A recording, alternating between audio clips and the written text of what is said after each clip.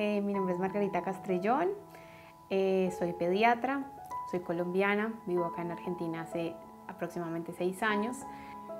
Si bien la cuarentena y la pandemia nos está afectando, eh, porque esto es un tema de salud público, nosotros tenemos que salir de nuestras casas, tenemos que seguir trabajando. no hemos parado de trabajar en ningún momento, siempre tomando todos los recaudos. En el trabajo de ambulancia que tengo, manejamos mucho traslado de pacientes con COVID o con sospecha de COVID.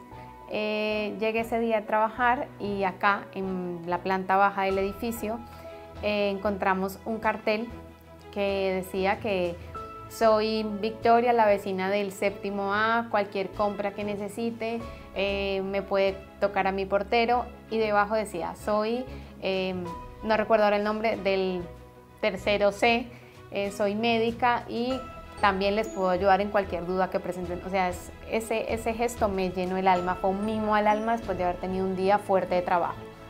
Eh, eso me, como que me marcó, me marcó y dije, bueno, los buenos son más, eh, la empatía está, está ganando acá.